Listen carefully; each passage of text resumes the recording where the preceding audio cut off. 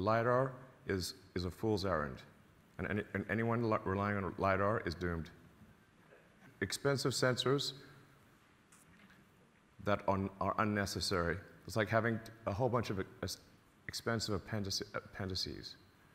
Like one appendix is bad, well, now they want to put a whole bunch of them. That's ridiculous. To point out that I don't actually super hate LiDAR as much as it may sound, um, but at SpaceX, uh, SpaceX Dragon uses LiDAR to navigate to the space station and dock. Not only that, we, SpaceX developed its own LiDAR from scratch to do that, and I spearheaded that effort personally. Because in that scenario, LiDAR makes sense. And in cars, it's friggin' stupid. It's expensive and unnecessary, and as Andrej was saying, once you solve vision, it, it's worthless. So you have expensive hardware that's worthless on the car. The, we do have a forward radar, which, which is low cost and is helpful, especially for occlusion situations. So if there's like fog or dust or, or you know, snow, the radar can see through that.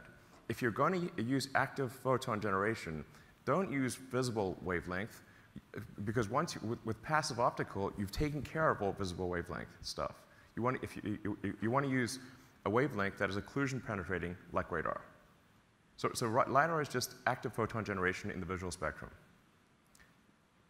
If you're going to do active photon generation, do it outside the visual spectrum in the radar, in the radar spectrum. So like at 3.8 millimeters versus 400 700 nanometers, you're going to have much better occlusion penetration, um, and that's why we have a forward radar.